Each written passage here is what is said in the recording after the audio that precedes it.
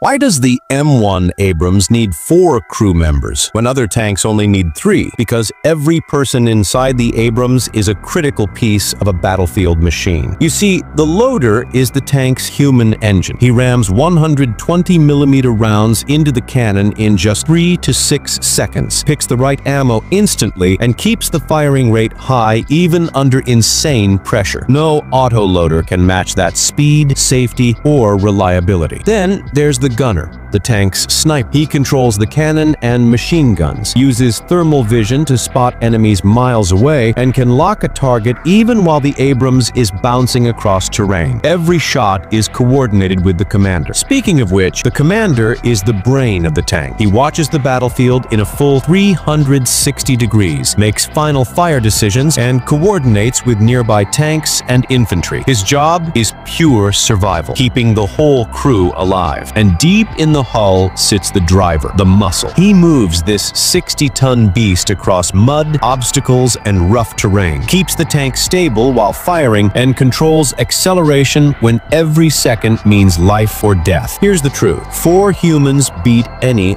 autoloader. Faster firing, faster reactions, better awareness. And in the Abrams, each role protects the other three. That's why the M1 Abrams doesn't run on machines. It runs on teamwork.